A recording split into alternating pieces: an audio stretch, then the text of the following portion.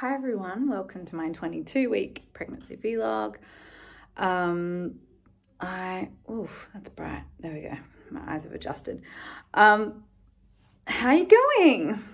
I am doing well. I'll start off with showing you my belly because sometimes I forget. Um, I'm wearing pajama pants, just FYI, because it's one of those days. There's a little, not little, but there's a 22 week belly for you. Fourth baby. Nice little chunk of sideburn, uh, sideburns. What's that called? Uh, love handles, that's it. Uh, again, look, no line. No line. I wonder if this, I'm just not going to have a line this, this um, pregnancy. I don't know. Um, hi everyone. I have been doing some major packing today because we are leaving Estonia in a week, a week from today. So uh, I have three more days left of filming. Monday night, all through the night I shoot, and then I have, um, which is the day this gets posted, and then I have two more days and done, which is wild. Um, I'm really excited to be done with work, uh, especially full-time work where I'm playing the lead, lead, lead of something. I've just done six months of playing the lead on a Discovery of Witches and then this little six week stint where I'm the lead, which basically means you're in every day, you're the first one in, you're the last one to leave. You know, it's definitely a slog, but it's certainly worth it. And this has been one of the most fulfilling experiences of my life creatively. Um, I just love, I just feel like I'm working with visionaries and I'm working with real artists who understand what good filmmaking is. Um, and I just feel really reinvigorated in the process. The character's completely amazing and flawed and tough. It's emotionally taxing for sure. I play a woman who um, has lost her child and uh, she has she has to deal with a lot of psychological issues. And anyway, it's the story is sort of right up my alley in terms of what I seek out as a performer. So it's been just completely liberating and, and so satisfying. Um, but having said that, it takes a lot out of you uh, emotionally and it's, it's just quite draining and on top of it, I'm pregnant. So three days makes me feel happy. it's also bittersweet because I have had Susie, one of my besties, who I talk about all the time. She was the first person to find out that I was pregnant with this little baby because I was with her in Tesco when I took the test and was like, oh my God. Um, she, our journey is coming to an end. So she's been with me since August the 10th when um, we first flew out to do a Discovery of Witches. Um, together, just as like we've been friends since where we were 15 and just always have such a good laugh together. And she was working in retail in Adelaide and I was like, sure, I'll come on this adventure and hang out with the kids. And, um, and we've just had so many fun days. We do our little exercising together, although we haven't been doing much since I got pregnant. Um, but listening to true crime podcasts, she comes to set, she brings the kids, we have, you know, or had wine nights together. We can't really do that anymore, but we stay up and watch shows and docos and it, it's just amazing. I feel like I have a roomie again and I'm 35. Um, and so that's coming to an end, which is really, um, oh, it's just bittersweet. Although she's adamant that the next couple of movies that I do, she's like, I'm still coming with you, but of course, you know, she's got a long term boyfriend and um, they want to have a baby soon as well. So um, that will be the next stage in her life, which will be so exciting to see another friend of mine go through what I've been going through over the last seven years. Anyway, so bittersweet feelings about things wrapping up and coming to an end, but could not be more excited to spend time in LA, all be back together there. Um, so many friends of mine are vaccinated now. Uh, and it just means that I think the world's starting to open up a little bit more. Um, although there are still so many countries dealing with it, like India, for example. So we're not there yet. The world is still suffering. However, every day we're taking a step in the right direction, it feels. and I can see the light at the end of the tunnel, and that is giving me hope. Um, we talk about hope a lot this month um, on Your Zen Mama. And so, yeah, there's like a sense of people are cautiously optimistic, um, which has been really uh, lifting me up whenever I'm having moments of just wanting things to feel normal again. Um, you know, we still have to jump through a lot of loopholes to try and get our family back into Australia because not all of us are Australian. Um, obviously, like me and the kids are, but my husband isn't, and then my stepson is not Australian. So we got to get, we got to apply for exemptions, and we got to, um, you know, it's not smooth sailing. And I know Mark has been incredibly stressed about that the last couple of weeks, just like making sure we have all the right documents in place and you know me i'm applying for a green card but then also trying to get an o1 visa in the in the interim and then Mark's trying for his Australian citizenship. And there's just, for him, there's a lot of stressy stuff going on. So he's had a really hard kind of 48 hours. Um, but yeah, like so far this this week, it's been great. Um, I'm usually the very calm one of the two of us. Uh, however, I told you about the scan that I went and got last week.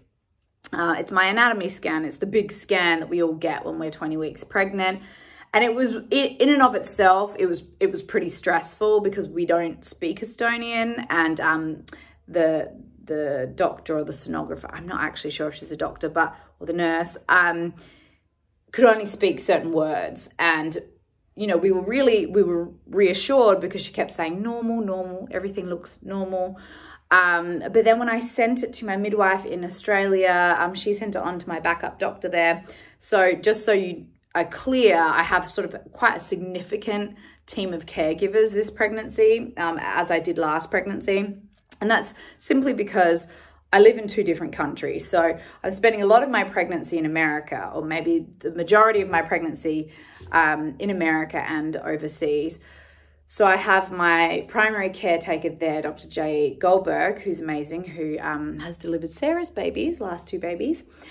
Uh, but then I have a specialist, Dr. Silverman, who is just this amazing, world-renowned specialist in Los Angeles. He um, deals with a lot of neonatal issues, and he's, um, I hear that he's one of the people to invent the um, in utero blood transfusions for babies who are affected by isoimmunization disorders. So I'm in the hands of literally the best doctors in the world. Um, so the isoimmunization side of my pregnancy, it's not flaring up, which is wonderful. So my numbers are very, very, very low, almost so low that they're um, unable to be read, which is a positive. But then of course, like the thing I found out from my backup doctor in Adelaide, who's also a Dr. J, um, she just said, look, I've noticed that your, um, obviously my placenta is quite low lying. That's quite typical for me. It's where your placenta sits quite close to your cervix. Now, if your placenta is over your cervix, um, I believe it's called placenta previa. Yeah. Um, you can't birth vaginally. Uh, so that's an issue for me because of how I love to birth. I love to birth at the birth center. And, you know, instantaneously, I will be upgraded to having a high risk pregnancy if that is the case. This is very typical for me. I feel like every one of my pregnancies, I hear, oh, the placenta's low lying, it's close to the cervix. Um, I usually have a routine ultrasound around 32 weeks, which typically shows that the uh, placenta has been pulled up away from the cervix. So I'm just hoping, I think this is the closest my placenta's ever been to the cervix, but I'm hoping that that will be the case. So for me, that is a bit of a non-issue, um, that it got picked up in the scan and I was like, all right, par for the course. That's just what happens to me when I'm pregnant with my placenta. Uh, the thing that I have not experienced before is this thing I had to Google, I didn't know about it, um, called arterial uterine Doppler, I think it's called. Um, and it's basically, it's like the fancy terminology for um, a, uh, looking at the blood flow in the umbilical cord to the placenta and making sure that your um, the umbilical cord has proper blood flow So it appears that mine are working overtime, working a bit harder, and I had elevated levels of the blood, um, which can sometimes indicate that there's uh, a placental insufficiency. Um, it can point to preeclampsia, early signs of preeclampsia. It can point to, um, you know, babies being on the smaller side, earlier delivery, um, uh, and even like as bad as uh, fetal death.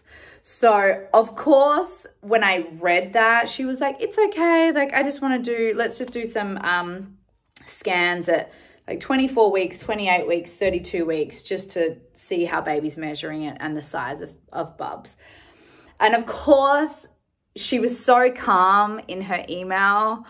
But then I did the thing that you go and do because that's just what we do as human beings, where you just start Googling everything. And um, it was like all the worst stuff. I was reading studies on it. I was like, oh my God, what?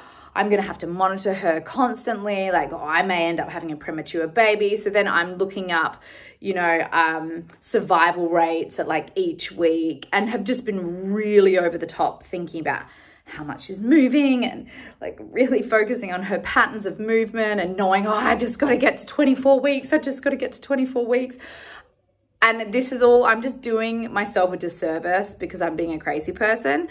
And Mark pointed out, he's like, I'm the one that does that. I'm the one that usually does that. And he's like, it makes me worried when you're the one that starts tripping out. And I was like, please give me this. Please let me get worried. Please let me have these moments and like don't take that away from me and then like run with the, oh my God, my baby's gonna die anxiety, which is what Mark can just go to like, he can get very fatalistic.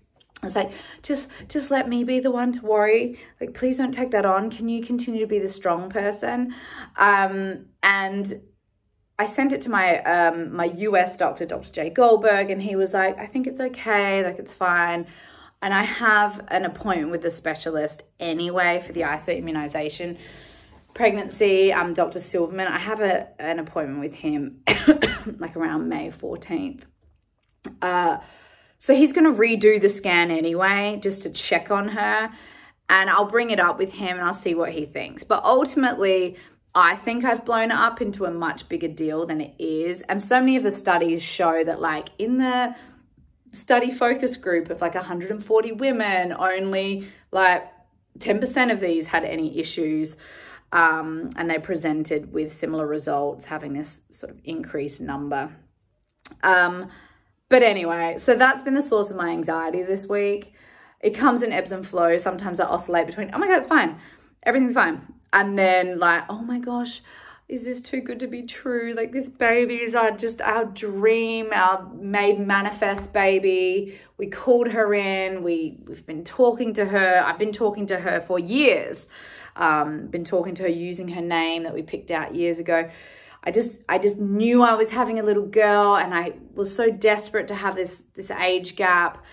And then um, you know, Mark and I always look at each other and I'm like, this is a dream. She's our she's our dream. Like we've we've created this. We we called this in.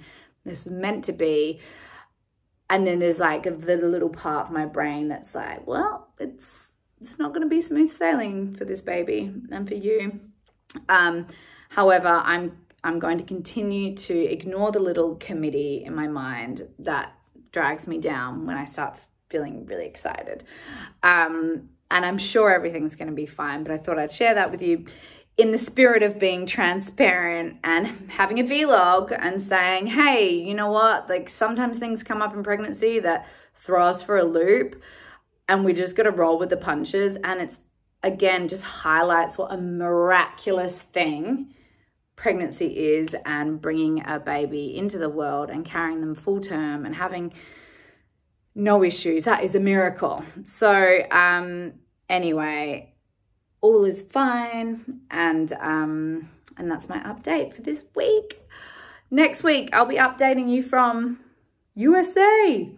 Um, actually, no. Yeah, it, it might just be as I've landed, I'll be um, 23 weeks. So I'll wait till I've landed in LA and then do another one. All right, guys, so much love. Have a wonderful week. I hope you're doing well and uh, thinking of you all. Bye bye.